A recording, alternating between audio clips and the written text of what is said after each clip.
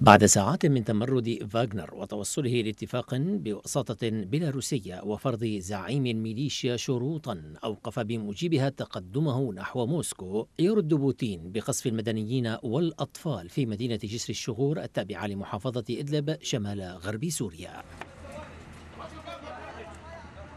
قصف استهدف سوقا للخضروات وتسبب بمقتل وإصابة أربعين مدنيا على الأقل بينهم أطفال. فيما أكد الدفاع المدني السوري وجود إصابات خطرة مرجحا ارتفاع حصيلة القتلى. الدفاع المدني أكد أنه استجاب لأكثر من 200 هجوم منذ بداية العام الحالي لافتا إلى أن وتيرة هجمات النظام وروسيا على شمال غرب سوريا ارتفعت خلال شهر حزيران الحالي.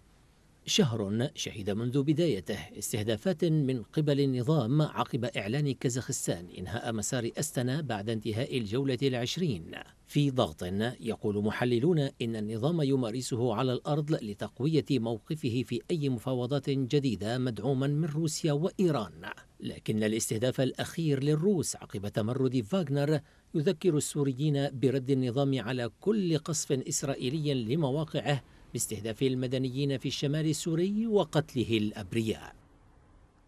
قتل لطالما برره مؤيدو النظام وإعلامه بأنه واجب ومحتوم معتبرين كل من يعيش خارج مناطق سيطرة النظام خونة ومتآمرين وعملاء مشاركين بالمؤامرة على محور المقاومة على حد وصفهم.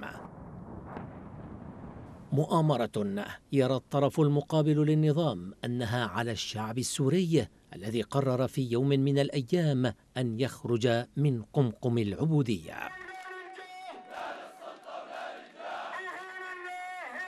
وفي ظل الموقف الدولي المتخاذل ازاء ما يجري في سوريا والتوجه نحو التطبيع مع نظام الأسد أكد الدفاع المدني السوري أنه لا ضمانات لحماية المدنيين إلا بتطبيق القرار الأممي رقم 2254 والذي يبدو أنه أصبح مجرد حبر على ورق.